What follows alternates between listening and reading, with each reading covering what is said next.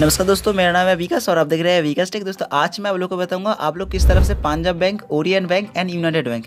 तीनों बैंक का पासबुक आप लोग किस तरफ़ से चेक करेंगे आपका फ़ोन में। देखिए दोस्तों, Punjab bank and Oriental bank and United bank. तीनों बैंक फ़िलहाल एक हो गया है। इसलिए पंजाब बैंक का जो पासबुक ऐप है, वो तो काम कर रहा है बट यूनाइटेड बैंक का पासबुक एंड ओरियन बैंक का पासबुक, वो अभी काम नहीं कर रहा है। टेंशन लेने का कोई भी ज़रूरत नहीं है, आप लोग किस तरफ़ से करेंगे, मैं आपको इस वीडियो में बताऊँगा। तो चलिए, वीडियो को शुरू करते हैं। पहले आपको क्या करना है प्ले स्टोर को ओपन कर लेना है। तो मैं अभी प्ले स्टोर को ओपन करता हूँ। रुकिए एक मिनट पासवर्ड दे देता हूँ। देखिए, मैं पासवर्ड दे के प्ले स्टोर में आ गया हूँ। इसके बाद आपको क्या करना है सर्च कर लेना है P N B M passbook मैं इधर पहले सर्च किया था, इसलिए है। इसके बाद मैं इसको डाउनलोड भी कर लिया था इंस्टॉल भी कर लिया था, इसलिए इधर है। इसके बाद मैं इसको ओपन कर लेता हूँ। ओपन करने के बाद इस तरह का इंटरफेस आएगा। आने के बाद इस तरह का एरर आपको दिखाएगा। टेंशन लेने का कोई बात नहीं है। आपको ओके करना है। ओके करने के बाद ये आपको बाहर निकालेगा। उसके बाद फिर से आपको ओपन करना है। ओपन करने के बाद देखिए, कुछ टाइम लेगा। इसके बाद देखिए, इस तरफ़ का एक फॉन्ट आएगा। आने के बाद आपको क्या करना है? आपको इधर लैंग्वेज चूज़ करने का एक ऑप्शन दिया जाता है। ठीक है? उधर लिखा रहता है, देखिए सिलेक्ट योर लैंग्वेज इस तरह का एक लिखा रहता है, ठीक है? तो आपको क्या करना है, उधर आप लोग लैंग्वेज लैंग्वेज चेंज कर सकते हैं, नहीं तो इंग्लिश में कंफर्टेबल है तो इंग्लिश को रख के आप लोग चलते हैं, ठीक है? तो मेरा लैंग्वेज ठीक ठाक है, उसके बाद मैं प्रोसीड वाला जो ऑप्शन है, नीचे में मैं टैप करता हूँ। देखिए दोस्तों, इसके बाद आपको इस तरह का इंटरफेस आएगा और आपको कस्टमर आईडी पूछा जाएगा।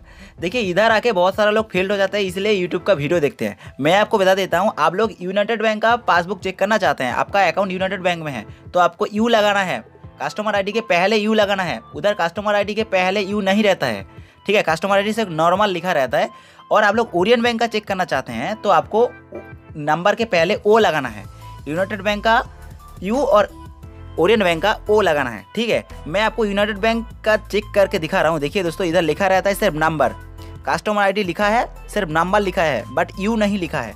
इधर आप नंबर देंगे तो ये नहीं होगा, आपको यू लगाना ही पड़ेगा, ठीक है?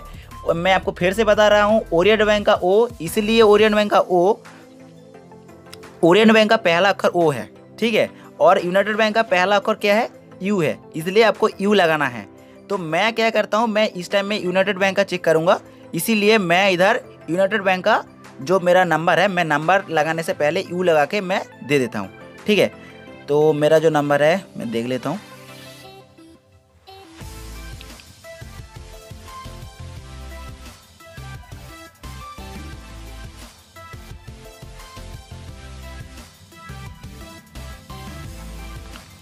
ठीक है, मैं यूनाइटेड मेरा जो कस्टमर आईडी है मैं दे दिया हूँ, यू लगा के दे दिया हूँ। इसके बाद क्या करना है आपको? I accept the terms and condition ये वाला जो छोटा करके घर है, उधर आपको टैप करना है टिक करना है। टिक करने के बाद आपको इधर प्रोसीड वाला जो ऑप्शन दिखाई दे रहा है ना, उधर आपको टैप करना है। टैप करने के बाद एक कुछ टाइम लोडिंग लेगा, पहला खुल रहा है। आपको कुछ टाइम वेट करना है। वेट करने के बाद देखिए, आपका नंबर आपका बैंक अकाउंट पे जो नंबर ऐड करके रखा है, वो नंबर पे एक ओटीपी जाएगा। चार अंकों का ओटीपी जाएगा। वो आपको ओटीपी देना है। तो मैं ओ दे देता हूँ, मैसेज में जाता हूँ। वन मिनट रुकिए। देखिए, मैं मैसेज में आ चुका हूँ और ये ओटीपी है वन सेवन सिक्स टू तो ठीक है, मैं इधर ओ को दे देता हूँ। इसके बाद प्रोसीड वाला जो ऑप्शन है, आपको इधर टैप करना है और आपका ओटीपी नहीं गया है, बहुत देर हो चुका है, आप रिसेंट भी कर सकते हैं, नीचे में रिसेंट रहता है। ठीक है, इसके बाद देखिए, आपको एन पिन सेट करना है। ठीक है तो आपको एन पिन सेट करने के लिए, देखिए, पहला जो ऊपर में चार अंकों का एन पिन सेट करना है, आपका मर्ज़ी से कोई भी एन पिन दे सकते हैं। और देखिए, नीच में कॉन्फर्म एन पिन करके एक दिखाई दे रहा है। जो पिन ऊपर में देंगे, वो नीच में देना है। ठीक है? तो चलिए, मैं एन पिन सेट कर लिया हूँ। इसके बाद देखिए सेट एन पिन करके एक ऑप्शन रहता है, नीचे में लिखा रहता है, इधर आपको दे देना है। ठीक है? सेट में टैप करना है टैप करने के बाद ओके पे टैप करना है, ये दिखा रहा है सक्सेसफुल हो गया है आपका एन पिन सेट इसके बाद देखिए आप एन पिन जो आपने सेट किया है अभी, वो आपको देना है। तो चलिए मैं इधर एन पिन जो होता है, मैं इधर दे देता हूँ। और आपका एन पिन भूल गए हैं तो फॉरगेट एन पिन भी कर सकते हैं। ठीक है? एन पिन देने के बाद आपको कुछ टाइम वेट करना है। प्रोसीड वाला ऑप्शन में टैप करके ये पहले टाइम खुल रहा है, थोड़ा सा लोडिंग ले सकता है। ठीक है? देखिए दोस्तों, ये ओपन हो गया है एन पिन देने के बाद मेरा जो ऐप है, वो ओपन हो गया है। आपका बैलेंस कितना है और आपका अकाउंट का होल्डर का नाम क्या है, ये भी दिखाएगा। इसके बाद देखिए इधर ऊपर में सेविंग में एरो जो दिखा रहा है उधर आपको टैप करना है। टैप करने के बाद देखिए मिनी स्टेटमेंट करके एक ऑप्शन है। उधर आपको टैप करना है। टैप करने से आपको लास्ट जो टेन ट्रांजेक्शन है, वो आपको दिखाएगा। ठीक है? इस तरह आपका एरर आपको शो कर सकते हैं। काफ़ी सारा बार शो कर सकता है। इसलिए शो कर सकता है। बैंक का सर्वर ऑल टाइम ठीक नहीं रहता है।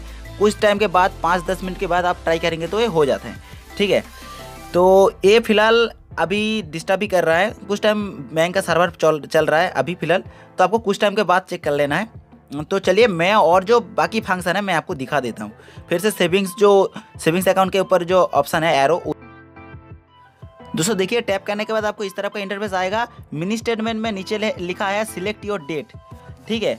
और देखिए दोस्तों, आप इधर नब्बे दिन, ठीक है लास्ट नाइन्टीज डे का स्टेटमेंट चेक कर सकते हैं। आपको इधर ऊपर में डेट देना है। दोनों डेट देना है। आप लोग किधर से किधर तक चेक करना चाहते हैं, वो डेट देना है, ठीक है? डेट देने के बाद आप इधर चेक कर सकते हैं, ठीक है? ऊपर में एक डेट है और नीचे में एक डेट है। तो आप कौन सा डेट से कौन सा डेट तक आपका स्टेटमेंट चेक करना चाहते हैं, वो आपको देना है। मैं आपको सिर्फ़ आपको एग्ज़ाम्पल दे रहा हूँ, आप देख रहे हैं स्क्रीन में, ठीक है? मैं दिसंबर का एक तारीख चूज़ कर लिया हूँ, ठीक है? और इधर मैं जनवरी का एक तारीख चूज़ कर लेता हूँ। ठीक है चूज़ करने के बाद आपको क्या करना है? ओके कर देना है। ओके कर देने के बाद आपको इधर सेटलमेंट जो नीचे में दिखाई दे रहा है, इधर आपको टैप करना है। टैप करने के बाद आपने जितना भी ट्रांजेक्शन किया है डेबिट क्रेडिट जितना भी किए हैं, आपको उधर दिखाएगा। ठीक है?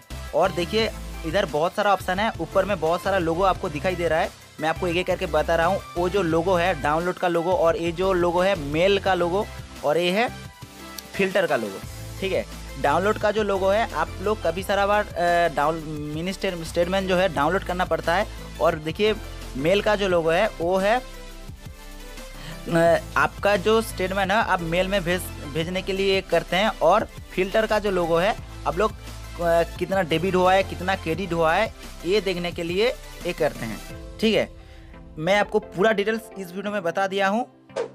और वीडियो को अच्छा लगे तो एक लाइक कर दीजिए और मेरा बहुत सारा चैनल है, आप लोगों के पास रिक्वेस्ट करता हूँ प्लीज़ चैनल को सब्सक्राइब कर लीजिए। मिलेंगे अगले वीडियो में, तब तक के लिए अच्छा रहिए। नमस्ते।